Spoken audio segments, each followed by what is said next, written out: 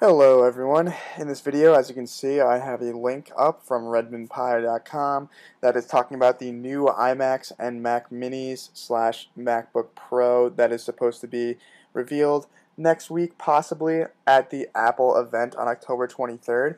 Um, so in this video, I'm just going to let you know what to expect in terms of the Macs and what my personal thoughts are on the new iMac, Mac Mini, MacBook Pro, etc., uh, and the rumors that are set for October 23rd.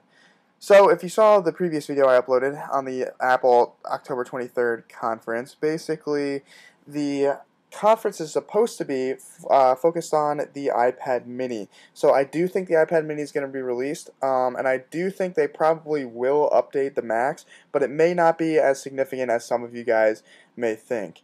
So basically, first off, as you can see, this article I have is saying that the new iMacs, Mac Minis, etc. are going to be uh, capable of shipping with 8 gigabyte RAM modules.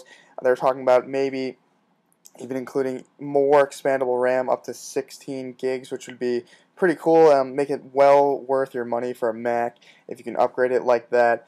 Um, of course, there's going to be processor speed, just the incremental upgrades, uh, stuff like that, but the RAM is a general upgrade.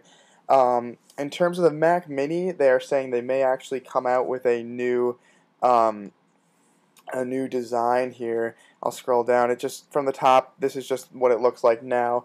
They're thinking maybe they will include a better design, uh, more solid that looks more like the iPhone 5's aluminum, um, or includes uh, a better way to upgrade, maybe an SSD, stuff like that. The iMac actually, they are talking about rumors uh, with the same thing, probably including SSD, uh, solid state drive. I already talked about the RAM they are actually wondering whether or not they will. Inc- people are wondering whether or not Apple will include a Retina display with this device because the MacBook Pro now has it. It would make sense for the iMac to have it. But the one uh, thing about that is the iMac screen is much bigger than the MacBook Pro screen, so it would cost a lot more money.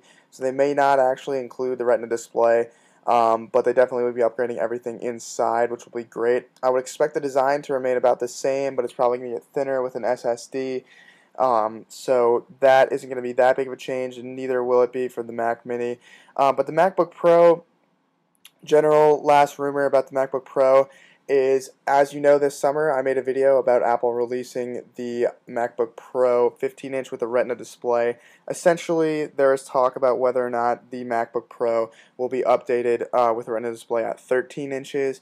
Um, but I've heard rumors that this is probably not going to happen until next year, so we're going to have to wait to see um, for that to actually be released. But other than that, that's basically everything you can expect with the Macs. Not as big of, of increases as compared to the um, as compared to the iPad mini. But hopefully you guys enjoyed this video. I'm just here to update you guys. Be sure to stay tuned for next week when they actually update all of these things and I will be actually making a video to update you on what they released.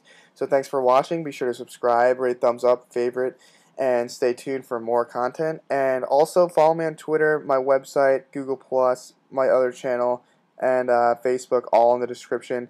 Really appreciate it, guys. Um, you guys make it possible for me to do this and make some money off of YouTube as well as help you guys out with updates and problems, etc. So thanks for watching, and I'll catch you in the next video. Stay tuned and enjoy. Peace.